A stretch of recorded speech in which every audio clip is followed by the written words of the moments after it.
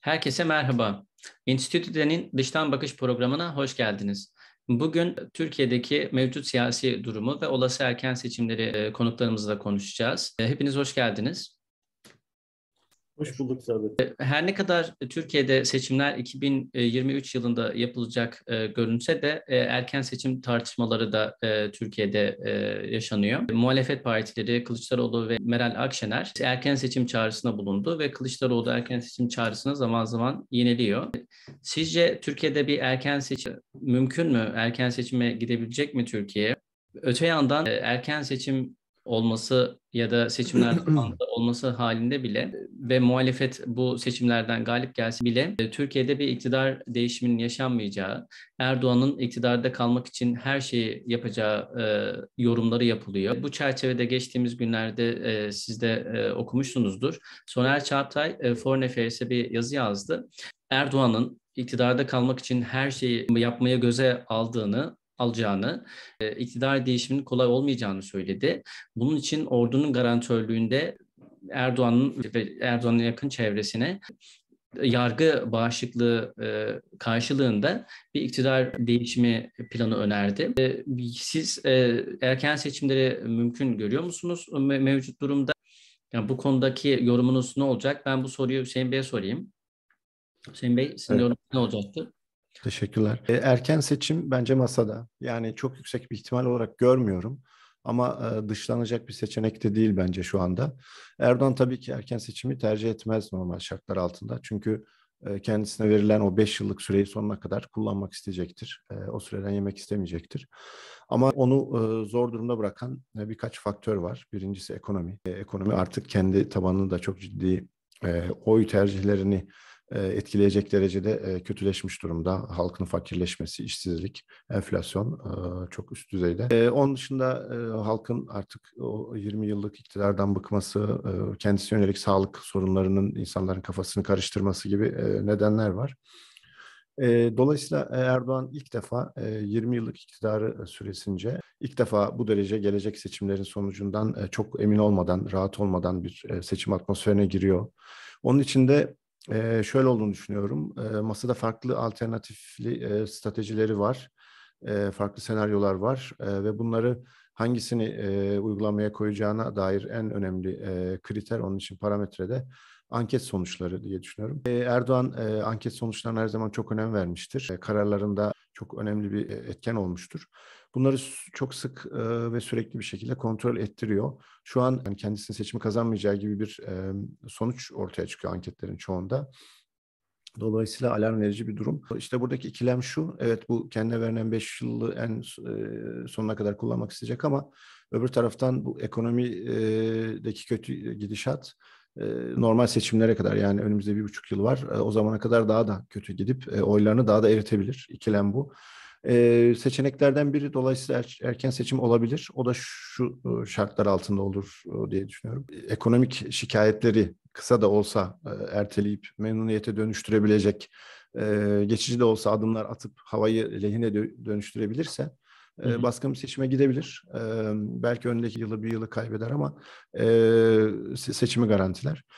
E, onun için de işte asgari ücrete ciddi bir zam, e, işte ciddi bir finansman desteği, e, dış ülkelerden e, o tip şeylerin e, peşinde koşuyor.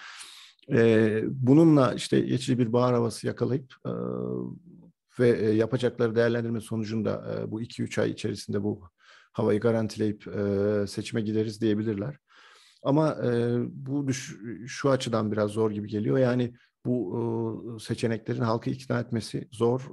Yani çok geçici tedbirler olabilir ancak. İkincisi de işte belki şunu düşünecek bir buçuk yılda biz farklı hamlelerle lehimize çeviririz. O bir buçuk yılı kullanalım diyebilir. Masada farklı seçenekler olduğunu düşünüyorum. Dediğim gibi en kötüsüne kadar giden senaryolar. Bunun içinde e, ne kadar söylemek hoşumuza gitmese de e, yani iç karışıklık, e, sokak, sokağın hareketlenmesi gibi senaryolar bu Erdoğan, Erdoğan işine yarayacak şekilde kullanılabilir, kendisi çıkartabilir. E, o hal e, bir seçenek e, olarak duruyor diye düşünüyorum. Çünkü o hal durumunda e, herhangi bir toplumsal memnuniyetsizliği gösterileri çok daha rahat bastırabilir, e, muhalefeti çok daha rahat susturabilir ve e, o hali çok gerekmesi durumunda bir bahane olarak kullanıp hukuki ya da değil e, çok önemli değil. Seçimi erteletebilir. O hal tecrübesini yaşadık yakın dönemde. Bu 2016-2018 yılındaki o hal süresinde Erdoğan istediğini yapabildiği muhalefet buna karşı koymadı, koyamadı. Anayasa Mahkemesi de biz o hal çerçevesindeki e, KHK'lara bakmaya yetkili değiliz dedi. Dolayısıyla o hal tecrübesi son derece Erdoğan lehine o halin de içinde olduğu, en kötü senaryo iç karışıklığında içinde olduğu alternatif senaryolar var masada diye düşünüyorum. E, bu o meselesinin gündeme getirilmesi de e, onun talimatıyla oldu diye düşünüyorum. Yani insanları, kamuoyunu buna hazırlamak bu fikre, ikincisi de tepkileri ölçmek maksadıyla. Dolayısıyla bu seç e, alternatif senaryoların içinde e, gidişata göre, anket sonuçlarına göre kendilerince en makul olanı uygulamaya çalışacaklar.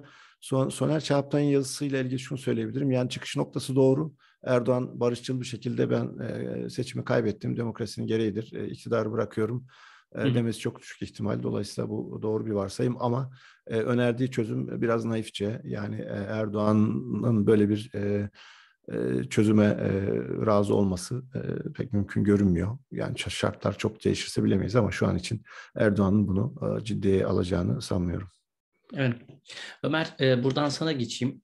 E, sen Soner Çaptay'ın yazısını nasıl değerlendiriyorsun? Yani Türkiye'de iktidar değişimin şartları nasıl olacak? E, bu mümkün mü? Yani muhalefet seçimleri kazansa dahi bir e, iktidar değişimi yaşanmayacak mı? Erdoğan iktidarda kalmak için her şeyi yapacak mı? E, bir önce bunu değerlendirmeni istiyorum. E, sonra yani ortada bir erken seçim tartışması var. E, muhalefetin kendisi birkaç kez erken seçim çağrısında bulunuyor. Ancak muhalefet henüz bir aday belirlemiş değil. Aday belirlemediği için topluma e, seçimlerde ne vaat ettiği e, ortada yok. Bir, bir ortada bir e, var. E, sen bunu nasıl değerlendiriyorsun? Yani muhalefetin henüz aday belirlememiş olması, muhalefetin seçim stratejisi açısından sence olumlu mu? E, ne tür bir etkileri var seçim sonuçlarına? E, sen nasıl değerlendiriyorsun bu durumu? Soner Şahaptay'ın yazısından başlayayım. Ya ben de e, Hüseyin Bey gibi çok naif bir yaklaşım olduğunu düşünüyorum. Soner Şahaptay'ın yazısında belirttiği yaklaşımın. Ben Erdoğan'ın e, ne muhalefete ne de askere bu konuda güveneceğini zannetmiyorum. Erdoğan iktidarı bıraktığı anda daha önce ne anlaşma yapılırsa yapılmış olsun bunların e, Türkiye şartlarında geçersiz olabileceğini en iyi kendisi biliyor. Çünkü Peki son... üçüncü bir ülkenin e, garantörlüğünde yapılsa bu anlaşma e, buna da mı güvenmeyecek Erdoğan? Ben zannetmiyorum çünkü bu resmi bir uluslararası anlaşma olacak hali yok. Hı. Gizli kapılar ardında resmi olmayan ve tarafların birbirlerine vereceği sözler üzerinden. Çünkü bunun evet. bir resmiyete dökülme şansı yok. Uluslararası anlaşma şeklinde yapılabilecek bir şey değil. Dolayısıyla ben Erdoğan'ın buna güveneceğini zannetmiyorum. Ayrıca bu tarz haberleri Erdoğan'ın kendisinin de yaptırmış, yaptırıyor olabileceğini düşünüyorum. Çünkü muhalefeti rağbete sevk etme, tartışmayı başka yöne çekme. E, şunu unutmamak lazım. Evet Erdoğan gitmemek için her şeyi yapacaktır. Ama seçimi kazanmak zorunda. Halkı seçimi kazandığına ikna etmek zorunda. Çünkü hı hı. şu an AK Parti'nin elinde meşruiyet kaynağı olarak en büyük meşruiyet kaynağı seçimler. Kendi evet. tabanı içinde böyle, e, bürokrasi üzerindeki ağırlığı içinde böyle, askeri içindeki ağırlığı içinde böyle e, yani seçimleri kazanıyor olması lazım ve muhalefete adam kazandı dedirtebiliyor olması lazım. Hı hı. Şunu unutmamak lazım. AK Parti bir seçim makinesi, Erdoğan bir seçim makinesi. Son 20 yılda girdiği tüm seçimleri kazandı. Dolayısıyla seçimleri ve bu işi çok iyi biliyorlar. Bir kere bunu teslim etmek lazım. Muhalefet için seçimler çantada keklik değil ve benim Erdoğan'ın söylemlerinden anladığım, takip edebildiğim kadarıyla Erdoğan'ın şu anki ana gündemi 2023 seçimleri. Buna odaklanmış durumda. Muhtemelen e, perde arkasında buna yönelik e, tüm adımlarını ve takımını oluşturmuş ve seçime dönük olarak e, faaliyetlere başlamış şeklinde anlıyorum ben. 2023 ana gündemi o işte milletvekilleriyle toplanıyor. Ee, son günlerde, son iki gün içinde milletvekilleriyle onlara yeni ekonomi programını anlatıyor. İşte önümüzde seçim var. Bizim için önemli olan 2023 seçimleri ve erken seçimi e, kesinlikle dışlayan bir söylem var. Ben Erdoğan'ın söylemlerinden geri anladığım kadarıyla erken seçime gideceğini de düşünmüyorum. Hı hı. Seçimleri vaktinde yapacak. e, dediğim gibi AK Parti ve Erdoğan tabiri caizse bir seçim makinesi ve seçime yönelik olarak harekete geçirebilir. Kendi tabanı, kendi tabanında bir yılgınlık olduğu doğru. Evet. 20 yıllık kendisi de bir dönem metal yorgunluğu diye ifade etmişti. Ee, bir yılgınlık olduğu doğru, halkta da bir yılgınlık olduğu doğru. 20 yıldır iktidardalar. Erdoğan'ın yüzünün eskidiği de doğru. Ama çok güçlü bir propaganda güçleri var. Kendi medyaları var, devlet medyası var, ellerinde imkanlar çok. Dolayısıyla üzerlerindeki ölü toprağa serpip ve çok önemli bir seçim. Bir kere bunun farkındalar. 2023'teki seçimi kazanmak zorundalar. Ve dediğim gibi bunu halkı ve muhalefeti buna ikna etmek zorundalar. Ben Erdoğan'ın senin de bahsettiğin işte sokağa giderseniz 15 Temmuz'daki gibi olur. Ben er-, Erdoğan'ın en çok sokaktan korktuğunu düşünüyorum. Muhalefeti yönelik bu tarz e, hareketlerin de işin açıkçası muhalefeti korkutma ve sokak seçeneğini akıllarından çıkartma olarak okuyorum. Daha evet. öncesinde işte silahlandık, silah dağıttık, silahlarla fotoğraf paylaşılması vesaire bunların da tamamen korku amaçlı e, muhalefetin elinden sokak kartını alma diyelim ya da ona yeltenmeme. Çünkü sokak hareketlerinin şöyle bir şey var. Kazakistan'da da aynısını gördük. Diğer ülkelerde de öyle. Eğer e, örgütlü bir muhalefet sokak hareketlerinin arkasında durmadığı sürece zaman içinde bu sönüyor ve belli bir evet. amaca ulaşmıyor. Evet. Halk ister ekonomik sebeplerle olsun, ister yarın bir gün seçim olduğunda, seçimin haksızca kazanıldığını düşünüldüğünde olsun, sokağa tek başına çıktığında arkasında örgütlü bir muhalefet gücü olmadığı takdirde bu, bu protestolar ya da sokak hareketleri sönecektir. Dolayısıyla Erdoğan bunun üzerine oynuyor diye düşünüyorum ben. E, çünkü sokak hareketlerinin nereye gideceğini kestirebileceğini zannetmiyorum. Öyle bir risk almak isteyeceğini de zannetmiyorum. Muhalefeti bu anlamda da korkuttuğunu düşünüyorum.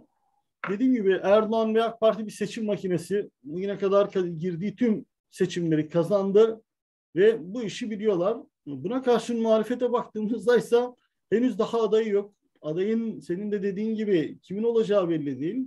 Ya buna dair denilebilir işte aday belli olursa e, yıpranabilir vesaire şeklinde ama ben bunun çok doğru olduğunu düşünmüyorum. Çünkü karşınızda Erdoğan gibi karizmatik bir lider var. İyi kötü yani son 20 yılda ülkeyi yönetmiş ve halkın büyük bir çoğunluğuna da en az yani şu an bile en kötü ankette bile yüzde otuz oy alan bir parti var karşımızda. Halkta karşılığı olan ve halkı inandırma gücü olan bir lider var. Muhalefetin buna karşı adayının kendini anlatması için uzun bir süreye ihtiyaç duyacağını düşünüyorum. Hı hı. Hatta muhalefetin yani seçim için ayrı bir partilösü bir seçim nasıl diyeyim seçim koordinasyon merkezi olur ya da seçime yönelik e, hatta yani gölge kabine oluşturulması dahil yani Amerika'dakine benzer Cumhurbaşkanı yardımcısı kim olacak, işte ekonomi bakanı kim olacak vesaire şeklinde bir yapıyla bu işe çok daha ciddi bir şekilde yönelmesi gerektiğini düşünüyorum. Çünkü muhalefetin yani Türkiye'de 20 yıldır iktidar olan bir e, Erdoğan var. 20 yıldır ülkeyi yönetiyor. Ona karşı Erdoğan gittiğinde ne yapacağını halka çok iyi anlatması lazım. Belki ilerleyen zamanda buna gireceğiz. Yani yani 20 Aralık gibi doların 18 e, TL'ye çıktığı bir süreç yaşadık. Ama muhalefet mesela Erdoğan'ın önerdiği paket karşısında yani sanki e, demoralize oldu. Erdoğan çok iyi bir hamle yapmış gibi e, karanlıkta gözüne far tutulmuş tavşan gibi kaldı yani. Çünkü ne söyleyeceğini bilemez. İktidar giderse ne yapacağını anlatamaz bir muhalefet var işin açıkçası çok derin ekonomik kriz karşısında bile bunu kendi avantajına çeviremiyor. Tam tersi şekilde işte programa hazırlık çerçevesinde Abdülkadir Selvi'nin yazılarını e, içim kan ağlasa da zorla da olsa hı hı. okudum son 3-4 yazısını. Yani orada mesela işte Optimum'un anketinden bahsediyor. Bir ekonomik kriz oldu ama bunu yine Erdoğan çözdü düşüncesi halkta hakim. Bunu pompalamaya çalışıyorlar. Halbuki yani bu İngilizce ifadesiyle self-made crisis yani kendi kendine yaptığı bir kriz. Dolayısıyla kendi kendine yaptığı bir krizi çözdüğü için tekrar övgü bekleyen ve bunu bu şekilde propagandasını yapan bir lider var karşımızda. Bu halbuki böyle değil. Yani kendi e, eliyle yaptığı bir kriz var. Bunu da yarım yamalak ki çözdü bile değil. İşte dolar 18'den 10'a düştü. Tekrar 14'e çıktı. Nereye gideceği de belli değil. Ya dolayısıyla çözülen bir şey de yok. Ama evet. bir kriz olursa Erdoğan çözer algısını pompalıyorlar ve bunun karşısında muhalefetin henüz ben bir şey yaptığını görmedim. Buna karşı bir söylem geliştirebildiğini de görmedim. Muhalefetin bence Millet İttifakı'nın seçimi çok daha ciddi ele alması lazım. Seçimin ayrı bir şekilde değerlendirilmesi lazım. Orada da yani adayı daha belirleyemediler. Muhtemelen adaylık konusunda bir e, kavga var gibi duruyor perde arkasından. Peki o yani muhalefetin aday belirleme konusunda iç çekişmesi yani bugün başkaları da onu dile getiriyor. Ee, öyle bir çekişme varsa e, aday belirleme konusunda e, bunun muhalefetin seçim başarısına, seçim stratejisine nasıl etkisi olacak? İşte aday e, geciktiği takdirde ya bir kere ben şunu düşünüyorum. Adayın CHP içinden çıkması lazım. Çünkü Hı-hı. en yüksek oyu alan e, parti ana muhalefet partisi CHP. Yani Ekmenektin İhsanoğlu gibi hatalara düşmemesi lazım partinin Hı-hı. ve seçim güvenliği çok önemli olacak. CHP tabanının motive olacağı e, heyecanlı yükseltecek bir aday olması lazım. Onun için ben Mansur Yavaş ismini de çok fazla CHP tabanında yankı bulacağını zannetmiyorum. Yani tabiri caizse e, CHP e, markası taşıyan bir aday olması lazım bunun ve CHP'nin tabanını harekete geçirecek. Diğer partilerden de oy alabilecek ama esasen CHP tabanını da harekete geçirecek ve onların da desteğini alabilecek bir aday olması gerektiğini düşünüyorum. Ve bu geciktiği takdirde politika belirleme noktasında ya da Erdoğan konuşuyor, Erdoğan'ın aday olduğu belli. Ama Erdoğan karşısında işte herkes konuşuyor. Ama kimin aday olduğu belli değil. Dolayısıyla halkın kafasında bir muhalefet e, adayı belli olmadığı için e, ben belli bir yere koyamadıklarını düşünüyorum. Halbuki şu dönemde aday belli olmuş olsaydı bunu çok daha güzel, çok daha e, net bir şekilde e, yaşananları, ekonomik krizi halka anlatılabilseydi e, ben e, çok daha e, muhalefet için iyi olacağını düşünüyorum. Peki, teşekkürler. Şimdi Harun'a geçmek istiyorum. Harun, seçimler şayet vaktinde yapılırsa 2023'te gerçekleşecek seçimler. AK Parti o zamana kadar ekonomiyi canlı tutabilecek mi? Halkın satın alım gücü ne yönde etkilenecek? İktidarın 2023'e kadar ekonomi planı nasıl olacak? Seçimleri kazanmak için e, her yolu deneyecek mi? Yani e, basında öyle yorumlar görüyoruz. İşte hazinenin içini boşaltacak, Merkez Bankası'ndaki Merkez Bankası'nın içini boşaltacak vesaire. Yani sen bu yorumları gerçekçi buluyor musun? 2023'e kadar ekonomi canlı tutulabilecek mi? Yani çünkü e, seçimlerin sonucunu e, büyük ölçüde ekonomi belirleyecek diyebiliriz. E, AKP'nin seçim stratejisi ne olacak yani ekonomi planı?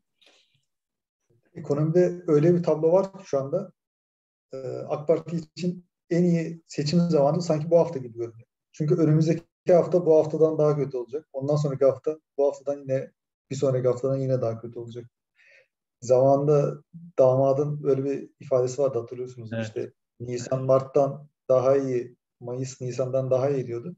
Şimdi e, ekonomide göstergeler bunun tam tersini işaret ediyor aslında açıklanan ekonomi politikasının işte kur korumalı e, mevduat hesabının e, hızlıca döviz kurlarını etkilediği algısı yaratılmaya çalışıldı. Ama aradan biraz zaman geçince görüldü ki bu Hı. aslında dolar satışıyla yapılmış yani. Zaten Merkez Bankası'nın eksili olan rezervleri daha da eksiye düşürülerek yani 20 milyar dolar, 17 milyar dolar gibi rakamlar telaffuz ediliyor satılan. O gece hemen satılan 3 milyar dolar olduğu e, söyleniyor. Bu da e, hazıra daha dayanmaz. E, bir yerde tıkanacak illaki. Sadece dolar satarak e, dövizi bir yerde tutamayacaklardır illaki. Onun dışında hükümetin son bir haftada çıkarılan bazı mevzuatta da bu dolar açlığının sürdüğü görülüyor. Döviz mevduatlarda 350 milyon dolar daha bir artış olmuş. 31 Aralık haftasına kadar. Bu pro- program açıklandıktan e, sonraki hafta itibariyle. Yani insanlar dövizini TL'ye çevirip bu korumalı mevduata geçmemiş.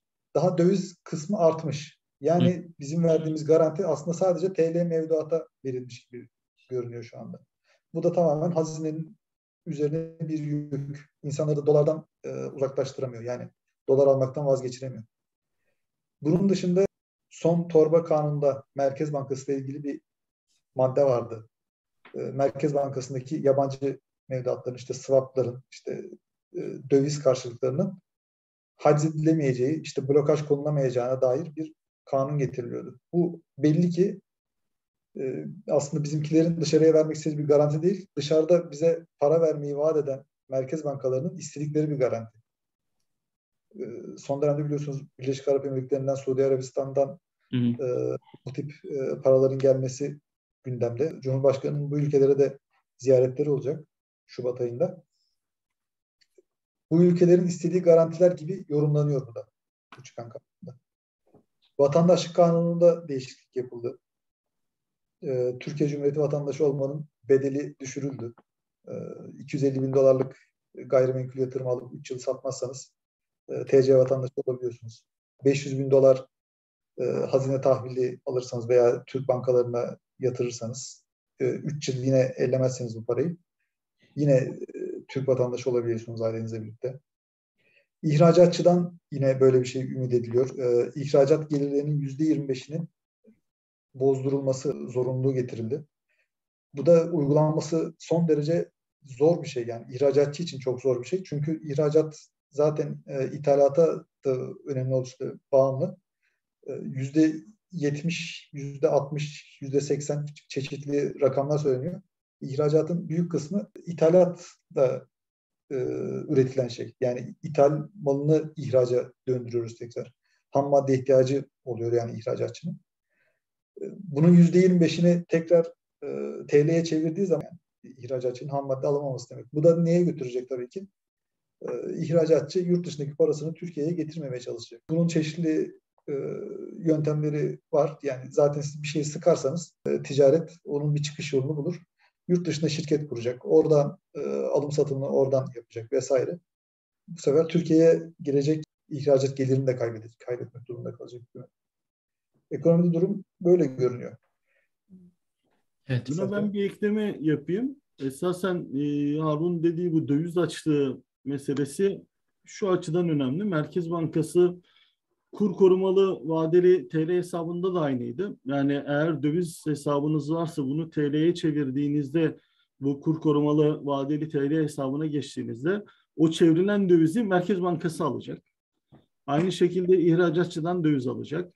Merkez Bankası rezervini artırmak istiyor. Rezervini artırmak istemesinin sebebi şu. Bunu daha önce de yaşadık. Bu temelle Dursun fıkrasındaki gibi. Yani e, aynı filmi izleyip farklı sonuç bekliyor ama öyle olmayacak döviz rezervini artırıyor.